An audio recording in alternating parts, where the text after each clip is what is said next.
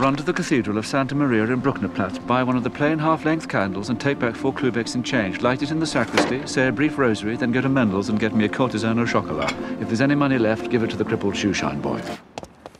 Hold it.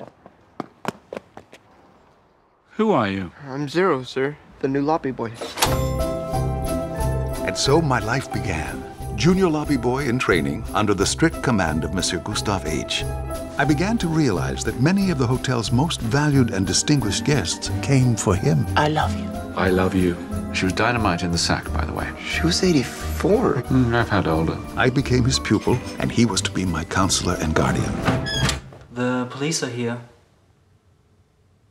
Tell them I'll be right down. She's been murdered, and you think I did it. This is Madame D's last will and testament. To Monsieur Gustave H., I bequeath a painting known as Boy with Apple. It's a masterpiece. The rest of this shit is worthless junk. This man is a ruthless adventurer and a con artist who preys on mentally feeble, sick old ladies. And he probably fucks them, too. How's that supposed to make me feel?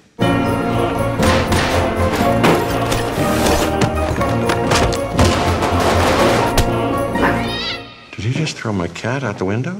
You see, there are still faint glimmers of civilization left in this barbaric slaughterhouse that was once known as humanity. Whoa! Indeed, that's what we provide in our own modest, humble, insignificant.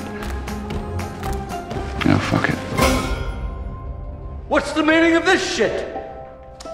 Boy with apple? I thought you did. I assume they went to the noticing now. Are you fucking kidding me?